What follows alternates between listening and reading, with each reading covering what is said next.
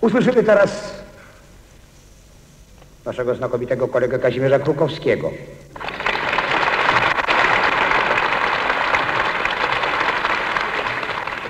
Proszę Państwa, ponieważ taki ten melonik też był cząsteczką tej starej Warszawy,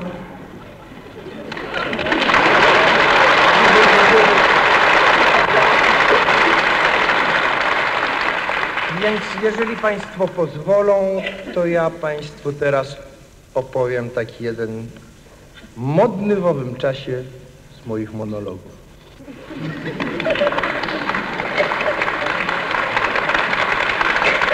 Jak mnie kto mówi, że jest chory, to to są śmieszne rzeczy.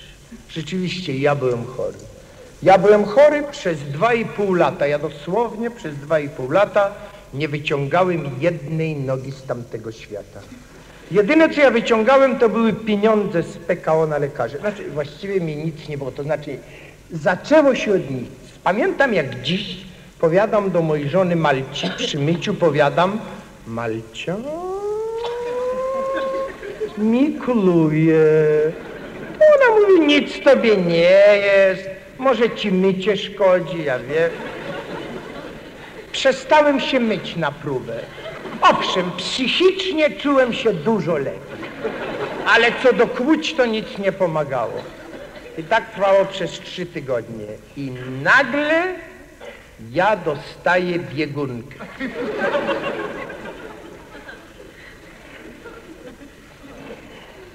Ja przez trzy dni nic nie miałem w ustach, tylko biegunka, biegunka.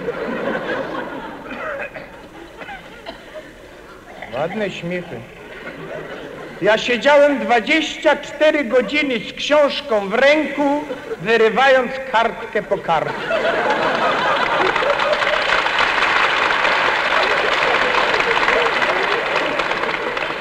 Ja zawołałem doktora, pamiętam jak dziś przyszedł doktor, on mnie macał, on mnie pukał, on mnie analizał.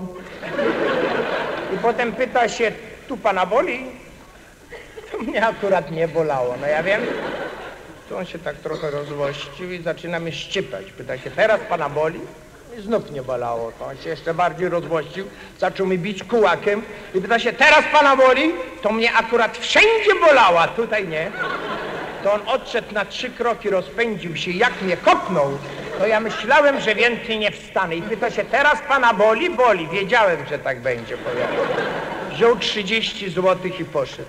A mnie tak bolało, że ja nie mogłem spać przez całą noc. To na drugi dzień żona wezwała doktora. Przyszedł doktor, popatrzył na mnie i powiada do mojej żony, mnie się pani mąż nie podoba. Ona mówi, mnie też, panie doktorze. Ale co ja mogę zrobić, jak on nie sypia po całych nocach? To ja mówię, panie doktorze, niech pan mnie nie obwija w bawełnę. Niech pan mi powie, ja jestem sercowiec, czy to niebezpieczne, czy nie. Nie powiem tak powiedział, nie powiem nie powiedział, módlmy się powiedział.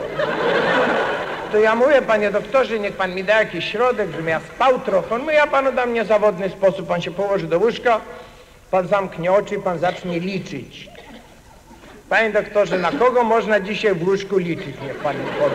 To on mówi, nie, pan będzie liczył co innego. Pan powiada, pan sobie wyobrazi takie pole, taką łąkę, sztachety, takie połamane parkany i potem pan sobie wyobrazi stado świń.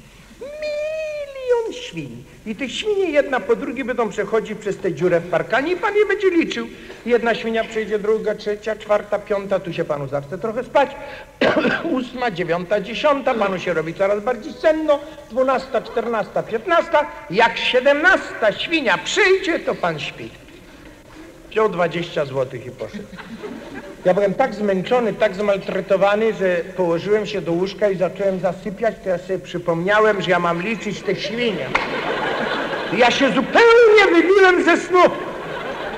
A potem ja sobie nie mogłem przypomnieć, jak wygląda parkan. Nareszcie sobie przypomniałem, widzę ten parkam, te dziury, te świnie, takowe zaczynają iść i ja je zaczynam liczyć. Jedna świnia przeszła i druga, i trzecia, ja liczę, i czwarta, i piąta, i szósta, i... I tu mi zaczęło robić tak troszeczkę senno, ósma, dziewiąta, dziesiąta, mi się robi senno, jedenasta, trzynasta, czternasta, piętnasta. I szesnasta świnia nie chciała przejść. I ona nie przechodzi i nie przepuszcza mi tej siedemnastej świni, przy której ja mam spać. Ja padam na kolana, świntuszka, przejdź! Do białego rana nie zmrużyłem on. To na drugi dzień zatelefonował do mnie mój szwagier, mówi, słuchaj, przyjechał profesor z Wiednia, ile kapacitet. Profesor Eisenman, musisz koniecznie pójść do niego. Poszedłem, profesor mnie przyjął w obecności dwóch asystentów, bardzo elegancki starszy pan. Popatrzył tylko na mnie i powiada do asystenta, no, typowy nieżyd. To ja mówię, panie profesorze, pan profesor zapewne nie dowidzi, prawda? Pan...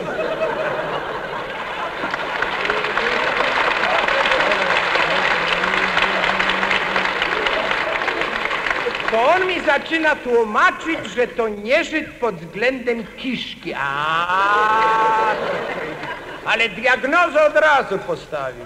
Popatrzał tu i powiedział, musiał pana niedawno ktoś kopnąć, profesor.